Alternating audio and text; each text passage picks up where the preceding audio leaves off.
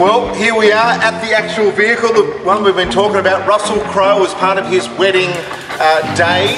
This is the car itself. We spent a lot of money on this, and one of you guys are going to get a key to actually drive it away. Where is that actual key, Frio? Have you got it there?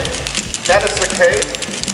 And here it is. It's an absolute beautiful. It's black. Let's have a look. Let's start her up too, Frio. See how see how she sounds. Okay, it's a bit dark. This is a Shannon Mobile, a big black shiny car. Yeah, a couple of big stains on the back as well.